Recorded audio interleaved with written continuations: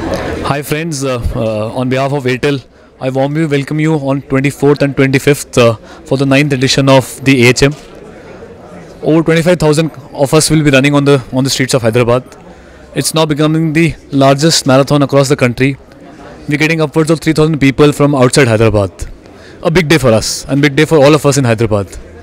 Come there, run, support, cheer. Anything will be good.